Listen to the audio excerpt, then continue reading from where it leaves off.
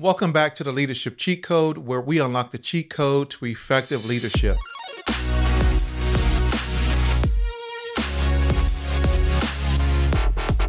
My name is Brian Vaughn. Today, we're going to talk about an essential trait for any new leader courage. As a leader, it is important to have the courage to take risk, to make tough decisions, and inspire your team. I'll share with you five ways a new leader can lead courageously, along with two strategies for each. So let's dive right in. The first way a new leader can lead courageously is by embracing vulnerability. It takes courage to be open, transparent, and authentic with your team. Here are two strategies to help you achieve this. Strategy number one is to encourage open communication. Create an environment where your team feels safe to express their ideas, concerns, and feedback. Foster a culture of trust by actively listening to your team members without judgment. Embracing diverse perspectives and allowing for open dialogue can lead to innovative solutions and a stronger team. So, here are three tips to encourage open communication with your team. The first tip is about regular feedback sessions. Schedule regular one on ones or team feedback sessions where team members can share their ideas, concerns, and suggestions. These sessions should be conducted in a safe and non judgmental environment, emphasizing that the purpose is to improve and grow as a team. Encourage everyone to participate and provide their input during these meetings. As a leader, be open to receiving this constructive criticism and demonstrate that feedback is valued and acted upon. Number two is to implement anonymous feedback mechanisms. Sometimes team members may feel hesitant to express their thoughts openly due to fear of repercussions or a perceived lack of anonymity. Implement an anonymous feedback mechanism such as a suggestion box or digital surveys where team members can submit their feedback without revealing their identities. This way, you can gather honest, open feedback and address these issues that might not have been brought up otherwise. And then number three is to promote psychological safety. Psychological safety is crucial for fostering open communication. When team members feel psychologically safe, they are more likely to take risks, to share ideas, and to also admit mistakes without fear of judgment or punishment. As a leader, it is up to you to set the tone by being approachable, supportive, and acknowledging that mistakes are a part of the learning process. Encourage collaboration and avoid blaming individuals for failures. Instead, focus on learning from the experiences and improving together as a team. Strategy number two, and which is a, is hard for some leaders to do, which is to admit mistakes and to seek feedback. As a leader, it's important to acknowledge when you make a mistake and for you to take responsibility for it.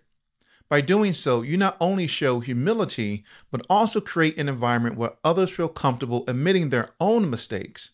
Additionally, actively seek feedback from your team. Encourage them to provide constructive criticism, and suggestions for improvement. This demonstrates your willingness to learn and to grow as a leader.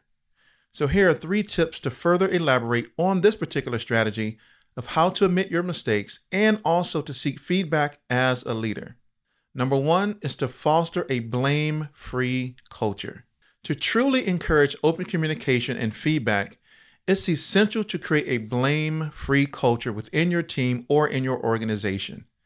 When mistakes occur, focus on understanding the root causes rather than assigning blame to specific individuals.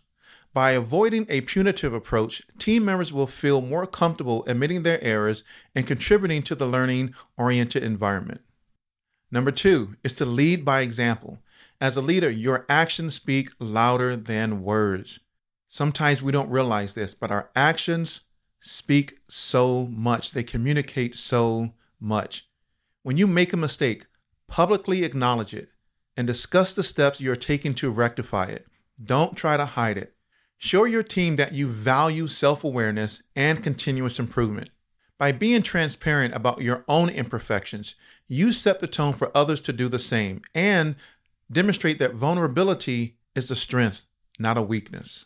And number three Implement a structured feedback process. Encouraging feedback is important, but to ensure it happens consistently, you need to establish a structured feedback process within your team or organization. This might include regular one on one meetings with team members to discuss challenges and growth opportunities. It could be anonymous feedback surveys, or it could be designated feedback sessions after a significant project or event. Having a formalized process in place ensures that feedback is not an afterthought, but a regular part of your team's culture. The second way a new leader can lead courageously is by embracing change and adaptability. In today's fast paced world, change is inevitable, and leaders need to be able to navigate through this change effectively. Let's explore two strategies for embracing change. Strategy number one is to foster a growth mindset. Encourage your team to see change as an opportunity for growth rather than a threat. Emphasize the importance of continuous learning and improvement. As a leader, be open to new ideas and be willing to adapt your strategies based on new information. By fostering a growth mindset, you create a culture that embraces change and encourages innovation. So, here are three tips to help you as a leader foster a growth mindset within your team. Number one is to create a safe environment for failure. Encourage your team members to take calculated risk and to step out of their comfort zones. Make it clear that failure is an essential part of the learning process and not something to be ashamed of. When mistakes happen, and they will, focus on the lessons learned and the opportunities for improvement rather than just placing blame.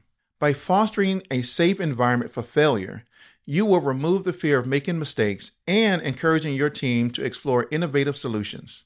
Number two is to recognize effort and persistence.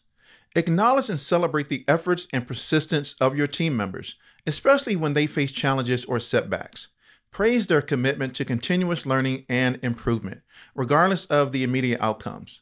This positive reinforcement will reinforce the value of a growth mindset and it will also motivate others to embrace the same attitude toward challenges and change. And number three is to provide opportunities for learning and development. Invest in your team's growth by offering various learning and development opportunities. This could include things like workshops or training sessions or even conferences.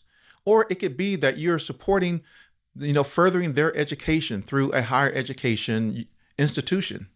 But the purpose is is for you to encourage your team members to set personal development goals and provide resources to help them achieve those objectives. By investing in their growth, you demonstrate your commitment to their success and you reinforce the importance of continuous learning within the organization. Strategy number two is to effectively communicate the vision and benefits of the change. Most people don't. Most leaders don't do that right? We talk about change and we say, hey, here's what needs to be done. And we run into resistance. And people are often resistant to change because they fear the unknown. And as a leader, it is your role to clearly articulate the vision behind the change and explain how it would benefit both the organization and specifically the individuals involved. Address any concerns or questions proactively. Don't react, right? Be proactive. You're going to experience resistance. You're going to experience the fear of the unknown. People are going to, they don't readily accept change. So you have to be proactive. You have to lead them through this process. You have to provide support and resources to help your team navigate through this change successfully. So, here are three tips to effectively communicate the vision and the benefits behind the change. Number one is to personalize the message. Tailor your communication to resonate with different individuals or groups within your organization. Acknowledge the diverse perspectives and concerns people may have about the change. You can do this by conducting one on ones or small group meetings to discuss the vision and the benefits in detail, addressing specific questions or doubts. Understanding their unique perspectives will help you craft a more compelling and relatable message that speaks directly to their needs and motivates them to embrace the change. Number two is to use stories and examples. Communicate the vision and benefit of the change through real life stories and examples. Stories are a powerful way of connecting people emotionally and making abstract concepts more tangible. Share success stories from other teams or organizations that have implemented similar changes and the benefits that they reaped. Illustrate the positive outcomes through concrete examples can make the change feel more achievable and less daunting, reducing resistance and encouraging buy in from your team. And number three is to create a visual representation. Sometimes a visual representation can simplify complex ideas and make them easier to grasp. Consider creating visual aids such as infographics and flowcharts, dashboards, or presentations to illustrate the vision behind the change and the expected benefits. Visuals can enhance understanding and retention, making it easier for your team to grasp the big picture and the steps required to achieve it. It also provides a reference point they can revisit whenever they feel uncertain about the change process. The third way a new leader can lead courageously is by encouraging risk taking. To drive innovation and growth, leaders need to create an environment where calculated risks are welcome. So let's explore two strategies to encourage risk taking. Strategy number one is to set clear expectations and provide autonomy. Clearly define the goals and objectives for your team and empower them to make decisions and to take ownership of their work. Give them the freedom to explore new ideas and approaches, even if they come up with some level of risk. When team members understand the boundaries and have the trust and freedom to act, they are more likely to take calculated risk. So, here are three tips to effectively set clear expectations with your team and to provide that much needed autonomy. Number one is transparent goal setting. Start by establishing clear and specific goals and objectives for your team. Ensure that these goals are communicated effectively to all team members so everyone knows exactly what is expected of them. Transparency in goal setting helps align the team efforts toward a common purpose and it helps to reduce any misunderstandings or conflicts that could arise from unclear expectations. The majority of you know that I had a, a leader in my life that drilled certain concepts and principles into my into my head. And one of the things that she said was expectations are only as effective as they are specific. So specify, give them clarity as to what those goals and objectives are. Allow there to be no hidden agendas. Allow them to walk away with that clarity in mind so that they are able to perform at the level that you expect. Number two, is to delegate decision making. Trust your team members. Leaders have hard leaders have hard times doing that, trusting their team members. But as a leader, if you want to be effective, trust your team members' expertise and judgment. Delegate decision making authority to the team. When team members have the autonomy to make decisions related to their work, they feel more valued and motivated. Encourage them to come up with solutions to challenges and support their decisions even if they may encounter occasional setbacks. It's okay. They may, but what are they going to learn from it? Remember, they're not failures, they are learning opportunities. So, what can you take from that situation and apply it going forward to get better? So, by allowing them to take ownership of their task, you foster a sense of responsibility and accountability within the team. And number three is to foster a culture of learning. Encourage continuous learning and the exploration of new ideas within your team. Create a safe space. I've talked about it many of times, right? A safe space, psychologically safe space where team members can share their thoughts, ask questions, and experiment with novel approaches without the fear of ridicule or punishment.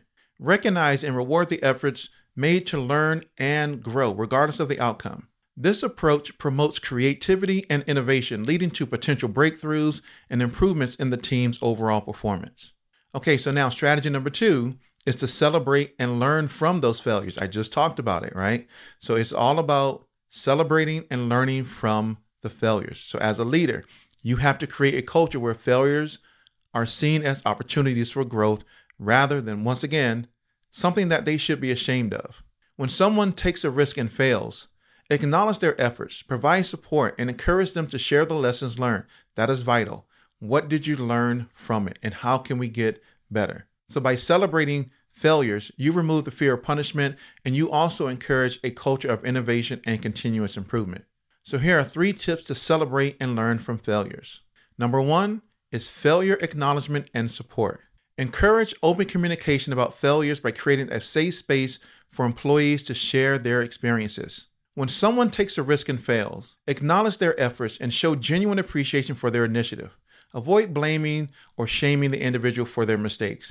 Instead, provide emotional support and assure them that it's okay to stumble sometimes because we all do. You, as a leader, are going to stumble at times. You need to have humility in that area, and also your team needs to know that it is okay to stumble sometimes because this is going to help to foster a culture of trust and psychological safety where your staff can feel comfortable taking those calculated risks and pushing boundaries and creation and innovation and thought processes and all those wonderful things that we're looking for them to do. But if we don't create that space, it's not going to happen. And then number two is structured failure reviews. So incorporate regular failure or lessons learned or after action reviews, right? Whichever you would like to call them. But the idea is to implement them on a regular and consistent basis. These type of sessions should be focused on analyzing what went wrong, identifying the root causes, and extracting valuable insights from those experiences. Encourage open discussions during these reviews, where team members can share their failures, their challenges, and the lessons that they've learned. Emphasize the importance of taking away actionable insights that can lead to improvements in future endeavors. And number three is rewarding learning and adaptability. While celebrating success is essential, Make sure that you also reward and recognize employees who demonstrate a willingness to learn from their failures and adapt accordingly. This could be in the form of praise, opportunities for skill development, or even promotions. By valuing the process of learning and growth, you incentivize employees to embrace failures as stepping stones to progress, fostering a culture that prioritizes innovation and continuous improvement. The fourth way a new leader can lead courageously is by leading by example getting yourself out there, taking those steps. Once again, I mentioned that your actions speak louder than words.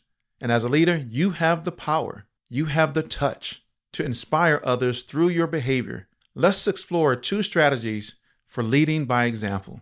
Strategy number one is to demonstrate integrity and accountability. Act with honesty, transparency, and ethical conduct in all your interactions. Every setting, everything you do, make sure you're honest, transparent, and that you are showing ethical behavior. Take responsibility for your actions and for your decisions, and hold yourself accountable to the same standards that you expect from your team. When your team sees you leading with integrity, they'll be more likely to do the same. So, here are three unique tips for demonstrating integrity and accountability as a leader. Number one is to communicate openly and transparently. Effective communication is crucial for demonstrating integrity and accountability. Heck, effective communication is crucial for anything that you do as a leader. You, as a leader, need to be transparent about your decisions, your thought processes, and the reasoning behind those decisions, those thought processes. Share both successes and challenges with your team and encourage open dialogue. Trust me, your team can see when you're making mistakes, when you're stumbling, when you're having hard times. So why not just be open about it? You are developing future leaders. Unless you don't see your team that way, then that's another conversation that I may need to have that you need to listen to. You, as a leader, are developing other leaders. So when your team sees that you are honest and open in your communication, they will feel more valued and trusted, leading to a stronger sense of accountability within the group. And number two is to admit and learn from mistakes. Right? This is a big part once again. And as a leader, it is essential to acknowledge that you are not infallible. We all make mistakes. So when you make a mistake, be willing to admit it openly and to take responsibility for the consequences. Avoid making excuses or blaming others. The buck stops with you. You are the leader.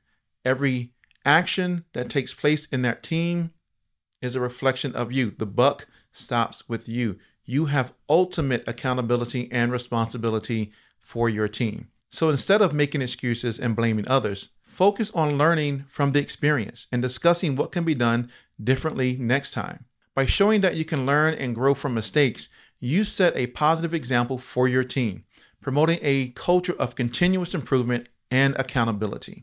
Number three is to set clear expectations and to follow through. That is essential.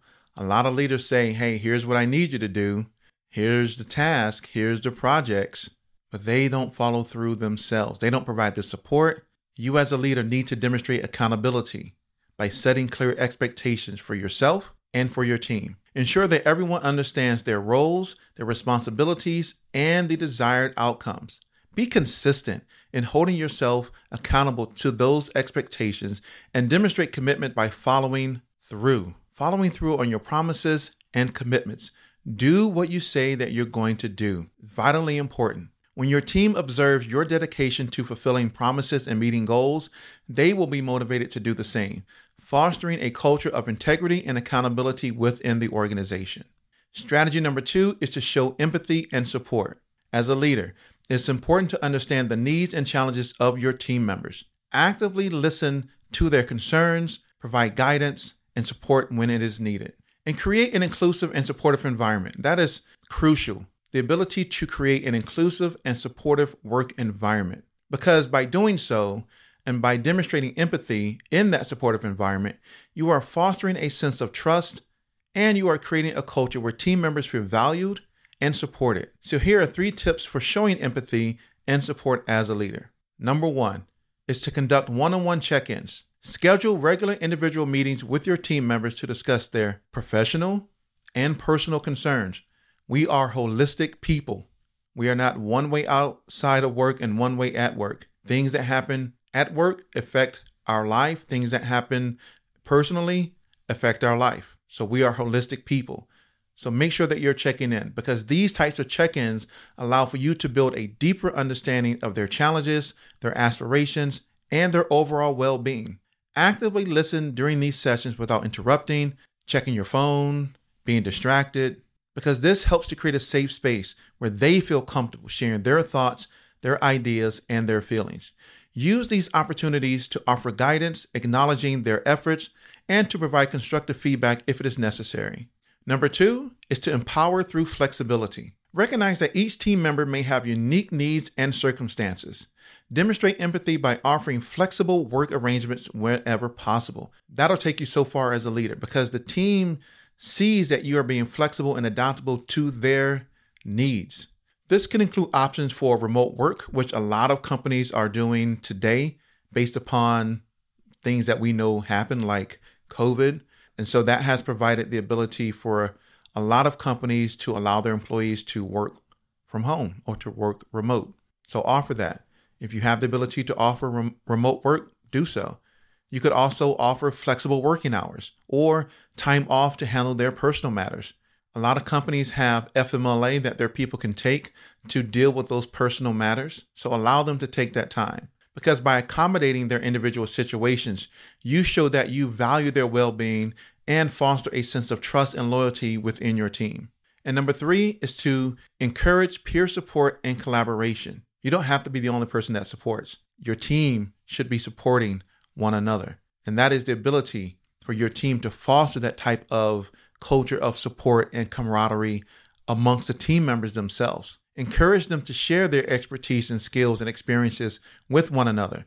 This could be through regular team meetings or cross functional projects, or it could be through mentorship programs. When team members collaborate and support each other, it creates a positive and uplifting atmosphere where they can learn from one another during these types of challenging situations and times. As a leader, you can facilitate these interactions and celebrate instances of teamwork and support. The fifth and final way a new leader can lead courageously is by staying committed to growth. Leadership is an ongoing journey. You never stop learning. It is an ongoing journey and it requires consistent personal and professional development. So let's explore two strategies to stay committed to your own personal growth and development. Strategy number one is to seek learning opportunities. Actively seek out opportunities for self improvement, whether it's through workshops or courses or reading books on leadership.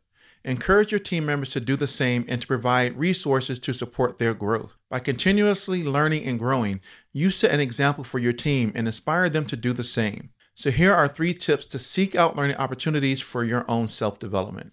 Number one is to create a learning day ritual. Set aside a specific day for that month or that quarter dedicated just to learning and personal development. On this particular day, encourage yourself and your team members to attend things like workshops and webinars or training sessions related to leadership.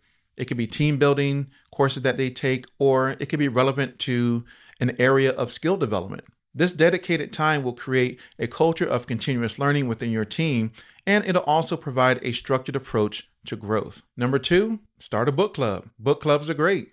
Start a book club for leadership development. Take a book, select whichever book you feel would be impactful to your team. It could be a book on leadership, it can be a book on management, it can be a book on personal development. But take time to read that book together over a certain period of time. Schedule regular meetings to discuss key takeaways or insights, but most importantly, how those concepts that you're learning from that book can be applied to your team's challenges and goals. It's nothing like reading a book, taking a course, going to a conference, and learning all of this great information and not considering how you can apply that concept to your overall team's challenges and goals. I mean that you have to do that. That's the overall purpose of going to those types of conferences and workshops. Is to take those takeaways and apply it to your team environment. This not only promotes learning, but it also fosters a sense of camaraderie amongst the team members. And number three are skill sharing workshops. Encourage team members to share their expertise and skills with each other through informal workshops or lunch and learn sessions. So, for example, if one team member excels at public speaking, they can lead a session to help others improve their presentation skills. By facilitating this knowledge exchange, the team members feel valued for their abilities, their skills, their strengths, and everyone else on the team benefits from a diverse range of learning opportunities that is provided within that team. And strategy number two is to foster a culture of innovation. Encourage your team to think outside of the box, to think creatively. A lot of people like to call it blue sky thinking, right? Whichever terminology you want to put to it. Allow them to experiment with new ideas and to embrace creativity. Create channels for sharing innovative solutions and recognize and rewards those who contribute to the growth and development of your team or organization. By fostering a culture of innovation, you create an environment that encourages continuous improvement and adaptability. So, here are three tips to foster a culture of innovation within your organization. Number one is to have cross functional collaboration and idea exchange. Encourage regular interactions and collaboration between different departments and teams within your organization. Break down those silos. Break those silos down. If you have those in your organizations, they are not healthy. So break them down and use this as an opportunity for employees from various backgrounds and expertise to come together and exchange ideas. By bringing different perspectives and ideas and knowledge to the table, employees can spark new ideas and innovative solutions. Consider organizing cross functional brainstorming sessions, workshops, or even informal gatherings to facilitate this type of idea sharing. This will not only lead to the generation of novel concepts, but it will also enhance team cohesion and creativity. And number two, something I talked about already, but I want to make sure I mention it because it is critical, especially in innovation, which is fail forward and learn from mistakes. This is your job as a leader to promote a culture where failure, once again, is viewed as an opportunity for learning and growth rather than a reason for punishment or shame. You'd be surprised, a lot of leaders do shame their employees. Now, granted, there's consequences if an objective, task, project is not met but it should never be a punishment or a shaming of that individual. You're going to dish out consequences. I mean, that has to happen. You didn't meet this particular project. What are the consequences for not meeting the project? But do not, once again, I'm going to reiterate do not punish them, and especially do not shame them. But what you should do as a leader instead is to encourage your team to take those calculated risks and experiment with new ideas and products and processes. When failures occur, and they will, we know that they will, you want to make sure that you conduct a lessons learned or an after action review to understand the reasons behind the setback and what you could do to improve. Celebrate the process of trying, even if the outcome wasn't expected, as it contributes to the overall innovative spirit that you are trying to foster within your team. By embracing failure as a part of the learning journey, you create an environment where employees are more willing to take risks and explore unconventional approaches. And number three, it's all about TOFI. You're like, what's TOFI? Brian, what is that? TOFI is all about the implementation of time off for innovation. That means you're giving people time off to be creative and to innovate. So give them dedicated time to work on these innovative projects and or to explore their passion projects related to the organizational goals. This could be in the form of TOFI, right, which is that time off for innovation, where employees are given a certain amount of time. It could be a few hours a week, or it could be a designated week every quarter to focus solely on innovative endeavors outside of their regular responsibilities. So during this time, employees can explore new ideas, they can conduct research, collaborate with colleagues on projects that align with the organization's objectives. This type of freedom to work on such projects can ignite creativity and lead to breakthrough innovations that may not have emerged during the regular work hours. All right, and there you have it. Five ways, five ways that a new leader, and sometimes a tenured leader, can courageously lead. Remember, leadership is not always easy. I had a mentor who told me repeatedly, Brian, leadership is not easy ship. And it's not. If it was easy, everybody would do it. But with courage, you can inspire your team, drive positive change, and achieve great success. Thank you for tuning in. And remember, to unlock your leadership effectiveness, you must master the cheat code. See you next time.